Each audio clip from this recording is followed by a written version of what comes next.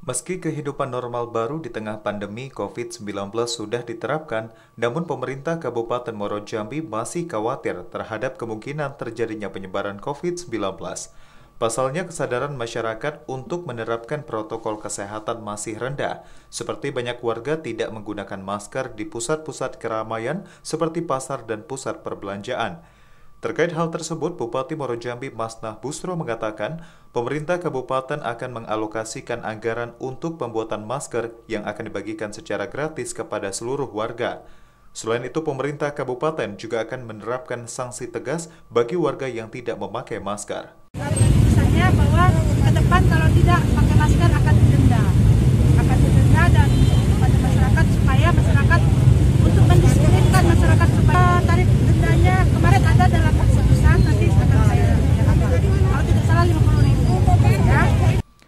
Pemerintah kabupaten juga telah membagikan 1.200 masker gratis kepada pedagang di kawasan pasar tradisional Sengeti.